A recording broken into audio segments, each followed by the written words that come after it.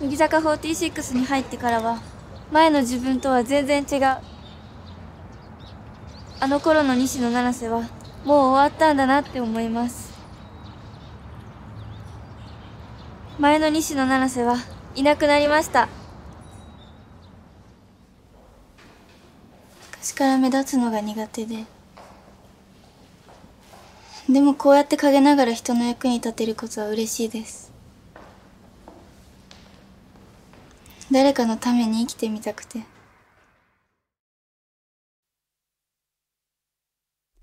ごめんね。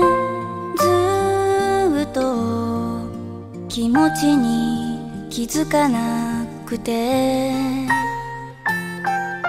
優しいあなたに今日まで甘えてた。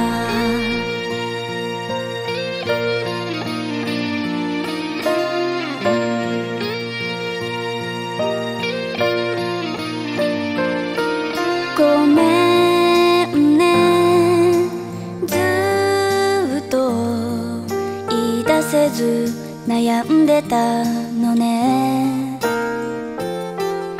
私の他に好きな人があなたにできたこと。をいつもと同じその微笑みがなぜだか寂しそう。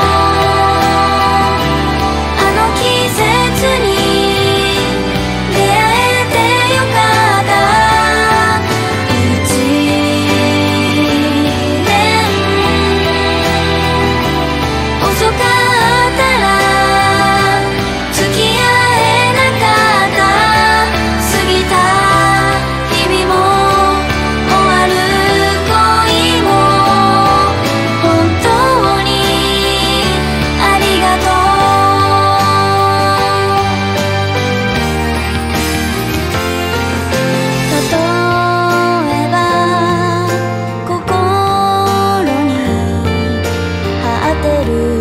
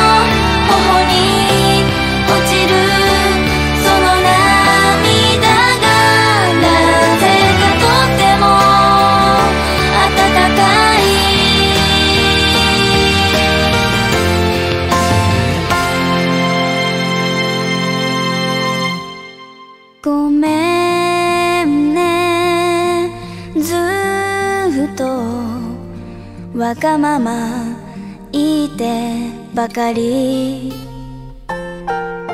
最後はあなたがわがまま言って。